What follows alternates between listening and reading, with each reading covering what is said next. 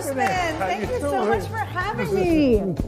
It's so great to be here. Now, is it wild being back at your old school? It's awesome. I come here every now and then and just recharge my battery, That's so it's good. good. It's good. What's up, man? I thought, you know what's funny? I thought. I love that little pump it up and the battery recharge.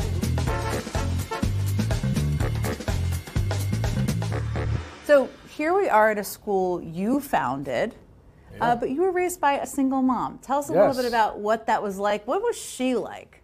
She was awesome. Uh, she worked in the post office uh, for 33 years. It was me, my mom, and my three sisters. And, you know, I always say my mother gave me three things uh, she gave me love, she gave me stability, and she gave me like a sense of self worth and self esteem. What led you, motivated you to leave this school that you had founded and run for Congress? You know, I just started to see a, a pattern of, of kids struggling with so many things that were beyond the control of the school. So, kids struggling with being unhoused, uh, kids having family members who were entangled Kids in who a- were the students here. our students, Yeah. yes. Kids who were, you know, have family members who were criminal justice entangled. Uh, kids who, we saw a dramatic rise in self harm and suicidal ideation in kids, like the year before I decided to run. And then that same year, which was Donald Trump's first full year in office, 34 kids died within the K 12 school system in the Bronx, and 17 died via suicide. So I just saw kids everywhere, like being hurt or killed or hurting themselves. And elected officials were not talking about it at all. And they definitely weren't making a connection between policy and how harmed our kids were being by our policy choices. So that was happening, and I just started to feel like numb and like powerless as a principal. And so I made the interesting decision to, to run for run for the House of Representatives. You got into a, a bit of a back and forth uh, with Congressman Massie over gun violence, and he tried to argue that teachers should be armed. You were not having any of that, I think it's fair to say.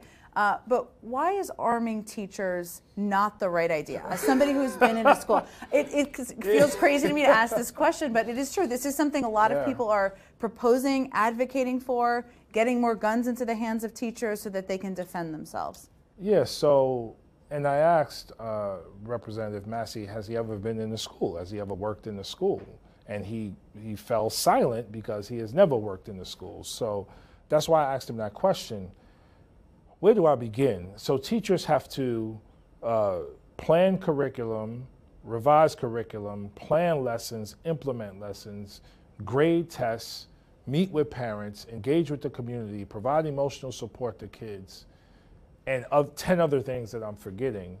And oh, yeah, let's put a gun on their hip so that they could go to training to learn how to use this gun and prepare for the possibility of a mass shooter in their schools. We want kindergarten teachers to do that. Like they're on the ground with kids, playing with blocks, engaged in Montessori education. Gun is on their hip while this is happening. That's the kind of society we want to live in? I don't think so. You've also talked a lot about um, the need for a more holistic approach to regulating social media platforms. Um, the focus has been on TikTok. You've pointed this out, Yeah. but the sharing of disinformation on Facebook, on Twitter, has long been a problem. There are lots of proposals out there, but what would you like to see happen uh, at the federal level to address all of this disinformation? Yeah, a, a comprehensive piece of legislation that deals with the issue of safety and security and the sharing of our data all over the world, which is currently happening right now. And so that's why I spoke out against the attacks on TikTok. Because if we ban TikTok tomorrow, our data would still be bought and sold and shared on the open market all over the world, and the Chin- Chinese Communist Party would have access to that data as well. They do now if they choose to buy it. So it's a disingenuous and misleading conversation to just focus on TikTok. On TikTok, you have been outspoken against a ban um, for a range of reasons, and you can, of course, and should Mm-hmm. Yeah, repeat all of them that you want to. There is there anything that you could learn about what the Chinese have access to, what they're doing with it, that would prompt you to support a ban? Yeah, I mean, I haven't seen any evidence of Chinese espionage or The intel or anything. yeah, I haven't seen. There hasn't been like a top secret congressional briefing on uh, what China China is doing with TikTok.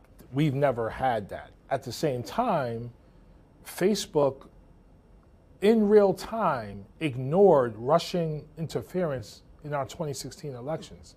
Like that happened. That's a fact. That's documented. But we had no conversation about banning Facebook. So we just need to be honest about what's happening. And the last thing I'll say is this in my opinion, TikTok is just a better product, period. And this Than smells to- Facebook. than Facebook, than Instagram, than Twitter, then it's a better product. To reach people, to connect with people. To reach people, to connect with people, I get much less hate and vitriol on TikTok. It's more enjoyable uh, to engage with. It's more educational, and it feels to me like they're just a better product. We got to get rid of the competition, ban TikTok. That's what it feels like. I know there's some places in this school that have special meaning Yes. to you. Should we go check one The of them whole school, but yeah, The we could, we could go to a couple places for sure.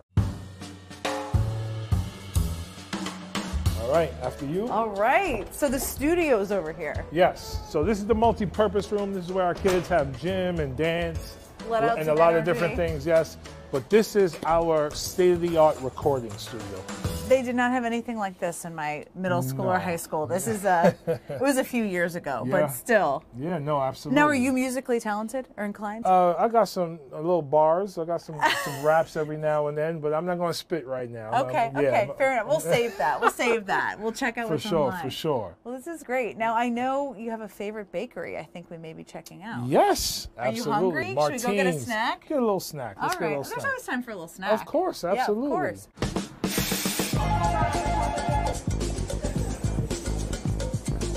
All right.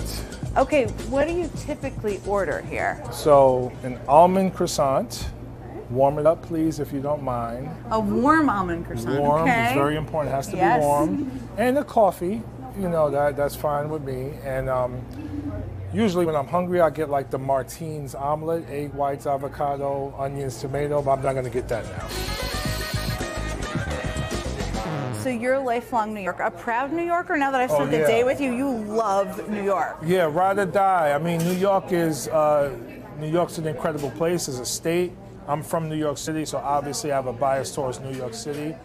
It's just so many people, so many cultures, so many different backgrounds. Now, uh, someone you've heard of, Marjorie Taylor Greene. uh, you you had a little bit of a small altercation with her, verbal altercation with her. So tell me what was going through your head when you told her to go back home You when know- she was here. First of all, I was angry that she would even come because she's coming for political theater and, and to help with her Because it was the day of the Trump arraignment. It was the day of the Trump arraignment. So it's, it, for her, it's about theater.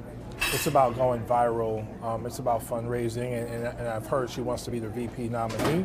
It's been a hard couple years for the country, I think it's fair to say. Even a couple weeks. I mean, we had the shooting in Tennessee, another mass shooting in Kentucky, um, obviously the Trump arraignment, indictment and arraignment. A lot of things that get people down. Yeah. But what gives you hope as a, as a member of Congress? My kids, um, you know, my daughter is nine, and I have the privilege of raising her and looking her in the eye and taking her to school and spending time with her and going to the park with her and all of that.